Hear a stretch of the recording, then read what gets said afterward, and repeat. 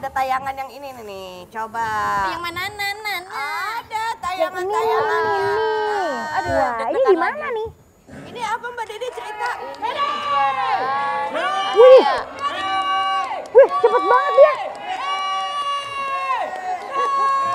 Mbak Dede. Mbak Dede, mohon maaf. Itu Mbak Dede yang paling pertama. Pertanyaan saya, apa yang terlintas di otaknya Mbak Dede? Kenceng banget tuh lari. Apa jangan-jangan lapar kali Mbak waktu Iya, itu Mbak? buru-buru deh sampai finish biar cepet selesai. Tuh Aida, besok-besok kamu kalau dikejar sapam harus begitu ya. Oke. Kamu mesti bawa gawang supaya cepet-cepet finish. Jadi kamu kalau lagi dikejar satpam, Pasang lagi dulu. bawa, iya. Pak, tunggu dulu Pak. Biar gitu. Saya mau pasang gawang dulu. Saya kalau pakai gawang lebih cepat larinya. Gitu dah. jadi satpamnya nggak bisa lewat karena setelah kita lewatin halangin. Ayo, ayo, ayo. Bisa juga Dede. ayo, ayo, ayo. Bener, Jadi bener, lucu bener. juga. Iya tadi lucu juga. Bener, bener, bener. Itu jarak berapa meter tuh Mbak? itu eh, ya itu untuk master jadinya 80 meter. Kalau misalkan yang eh, nasional sebelum master itu eh, kejuaraan yang untuk di atas 35 tahun. Jadi eh, ya kategorinya master. Tadi 80 meter itu kejuaraan Asia. Oh, kejuaraan. Jadi gawangnya juga 8.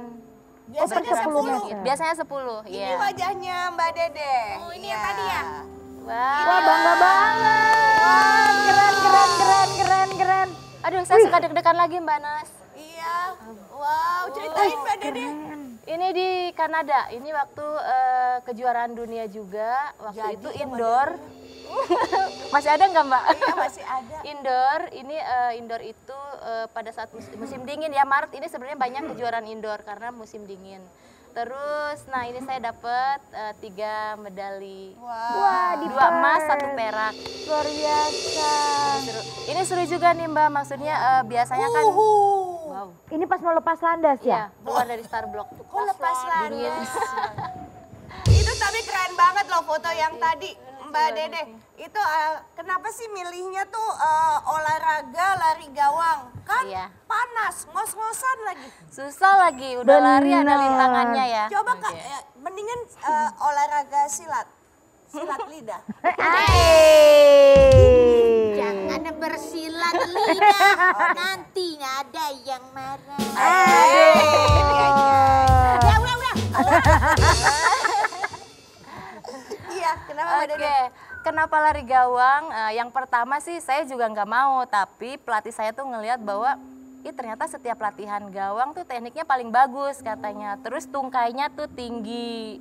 Eh, bisa nih cocok buat eh, anatomi pelari gawang. Terus saya cobain sekali, ternyata nggak sesulit yang kita lihat kan ya. Udah gawangnya tinggi, ada 10 juga.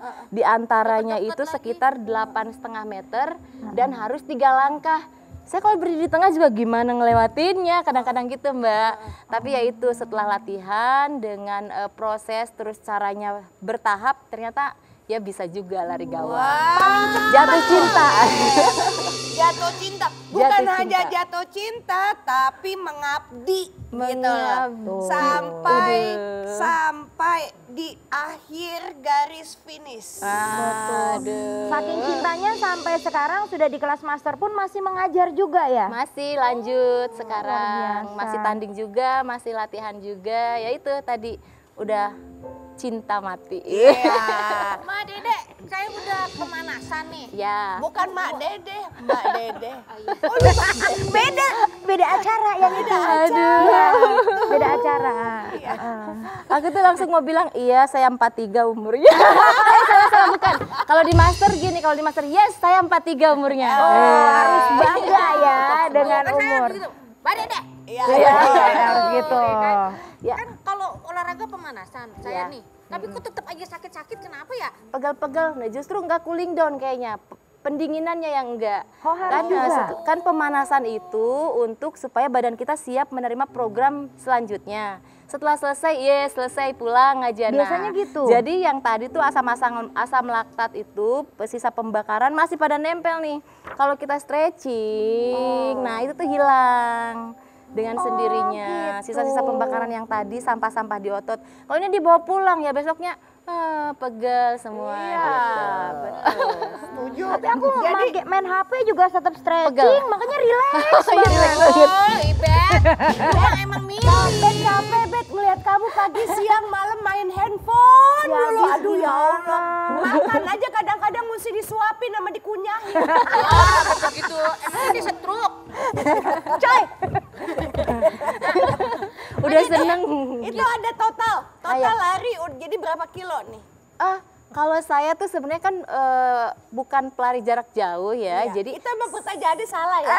Iya, berarti pertanyaannya udah berapa tiang gawang yang diloncatin? Oh, yang diloncatin banyak. Sudah berapa kali jatuh? Mungkin. Bisa bisa bisa pertanyaannya tuh kayaknya Iya, lebih jadi menarik. eh, iya eh, eh, nabrak-nabrak gawang tuh kayaknya udah biasa nih kalau misalkan di pojok sana ada yang latihan gawang terus langsung jeger. Wah, jatuh nih ya gitu. Palingan diketawain gitu kan. Karena ya eh, itu udah suara-suara biasa gitu kan. Pernah satu kali waktu tanding di Jordania waktu itu kampung kejuaraan Asia. Terus saya lagi race nih di sini ada Kazakhstan, ada China, banyak banget. Saya lagi seru. Tiba-tiba dua gawang terakhir nyuksruk, Mbak. Oh, serut gini. Terus aku ngeliat mereka lewat gitu seng, seng, seng dan itu sedihnya. Kebayang, kebayang, kebayang, kebayang. Sedih tapi ya udah itu pengalaman. Oh, oke. Berarti konsentrasi itu harus dari awal sampai akhir. Sampai sampai garis finish. sampai garis finish. Karena di gawang ke-8 tuh mungkin saya ngelihat tangan mereka, uh, nyampe mana mereka, nyampe mana dia. Oh, karena Kehilangan mikir. konsentrasi, nabrak gawang dan gak jadi juara. Tapi ini pelajaran yang bagus juga untuk hidup loh ya kak ya. Jadi Oh, gimana? kayaknya bebannya banyak ya dia. Iya. Jadi harus fokus Makanya aku ya. lihat HP terus ya kan. Apaan yang bisa gue jadiin duit gitu. Mbak Dede, Iya. kalau misalnya gawang apa itu namanya gawang ya? Gawang. Iya, gawang. Itu berapa tingginya? Tingginya itu kalau yang untuk putri itu 89 cm Wow. meter. Nah kalau putra tingginya. Saida gini juga Eh, sama? bisa, tapi saya lewatin dari bawah juga kolong. Maaf ya Aida. Aduh, Aida maaf ya. Jahat tahu nggak kayak begitu? Kalau saya emang enggak nih ada tiang segini. Eh, saya ke sini. Iya, iya. Gak gitu caranya emang harus diloncatin. Itu bukan namanya pelari gawang, Aida. Saya Iya. ngeri pas saya lompat nyangkut gitu. Iya. Bukan malahnya malu, sakit. Lagian Aida mah bukan diloncatin kayaknya kak, bukan diloncatin mbak, dipanjat. Satu-satu ya. Jadi medali dong, medali, piala, ceritain sama semua yang ada di sini. Jadi kenapa sih sebetulnya Mbak Dede ada di sini bersama perempuan? Pertama adalah seperti yang tadi disampaikan oleh Ibet. Apa yang dilakukan sama Mbak Dede itu sebetulnya adalah filosofi kehidupan. Ya.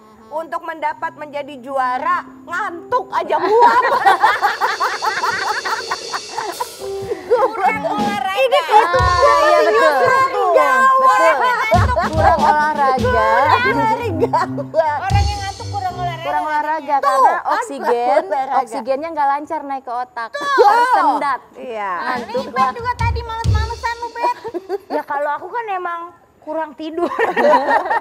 Nah jadi tuh bagaimana mendapatkan piala, medali tuh nggak jatuh dari langit gitu aja, bonyok-bonyok juga gitu loh. Kemudian juga filosofi kehidupannya bahwa eh, perempuan itu kan banyak gawang yang mesti dilewati ya, banyak kendala yang mesti ditaklukkan. Nah tetapi bagaimana semangat untuk sampai ke garis, Finish. Oh betul banget. Jadi eh, karena saya juga udah em, bukan mendalami banget ya gawang itu kayaknya saya. Saya adalah gawang-gawang itu yang harus Oh, saya iya, lewatin gitu kan. Emang Jadi wajahnya juga bergawang. Saking mendalami ya. Saking mendalami Mendalami, banget ya, pokoknya gitu Ya. kan. Jadi memang eh, filosofi gawang itu saya pakai juga dalam kehidupan saya Mbak. Gitu kan. Ada 10 gawang yang harus saya lewatin. Dimulai dari start gawang pertama, kedua, ketiga sampai ke 10. Setelah 10 tuh masih ada lagi harus saya harus lari sampai finish sampai selesai gitu kan. Itu juga eh, dalam kehidupan saya kalau misal masalah itu pasti ada. Dalam latihan, cedera, uang saku belum turun misal gitu. atau Ngalamin apa pun juga kan ya itu ternyata ya. Kirain anak kosan doang. Iya, iya, iya. Ya itu salah satu. Apa anak kosan? Kamu tuh tinggalnya sama aku di sini. anak kosan apa bayar gak pernah. Iya, itu kan kalau di set, kalau di luar set kan anak kosan. Iya, Itu anak kosan. Saya anak Honda. lanjut lanjut Mbak Dede. Oke mbak, jadi ya dalam dalam hidup juga sama gitu kan ya banyaklah hal-hal yang harus kita lewatin. Tapi saya selalu gitu kalau wanita itu kuat, menurut saya wanita itu kuat gitu kan. Tapi kadang-kadang eh, belum bisa memunculkan aja. Tapi saya ngeliat juga bahwa satu gawang, satu masalah, ah gampang. 10 gawang aja saya lewatin. Bukan berarti nantang masalah datang ya, Ya. tapi ketika eh, kita ada masalah yang harus kita hadapi ya udah satu persatu selesaikan. Betul. Karena teknik gawang itu detil banget. Satu teknik aja misalkan eh, tangan terlalu keluar sepersekian detik, nah itu akan mengurangi kecepatan. Sekarang saya lari gawang 13,18 detik. Wow. Detil banget. Harus sangat detil. Ya, Iya. detail banget. Dan perempuan punya kekuatan untuk melakukan segala sesuatu tuh teliti dan detail. Nah, Ditambah di situ. eh, Mbak Dede ini punya anak perempuan Oh, yang juga Mbak Dede? Iya, Iya. eh, usianya 20, 20 tahun betulin kalau sekarang. saya salah ya. Iya. Dan atlet juga dan Iya. penyumbang medali Emas untuk terakhir di PON. di PON. Wah. kalau dia Iya. lari apa? Di namanya Diva Renata, sekarang eh, kuliah di UNJ juga ambil urusan olahraga semester 4. Nah, sekarang kalau Diva itu di lompat gala. Lompat gala itu yang pakai itu tombak. terus dia Ya tombak Aida, eh, bukan bukan kan pakai gala buat tombak buat yang mangga. lumayan multifungsi. multifungsi ya. Tuh gak Oh, kalau kamu atletnya nggak usah pakai galak, kamu aja loncat ambil. Jangan-jangan itu galanya anaknya. Iya. Hilang lomba kemarin. Oh iya kan? Ada di mana? Saya buat nyengket mangga. Eh, Mending kamu siap-siap lagi Aida lari, mau dikejar. dan dan sekarang ya eh, musik denger dulu dong cerita romantisnya bahwa Mbak Dede tuh suaminya tuh pelukis. Ah, yang beb nonton nggak ya? Wah, harus nonton dong. Yes. harus nonton. Ah, jangan yang selama ini ada di belakang kita bukan? Itu mah beda.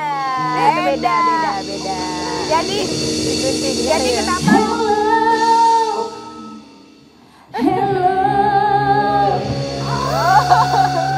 Iya,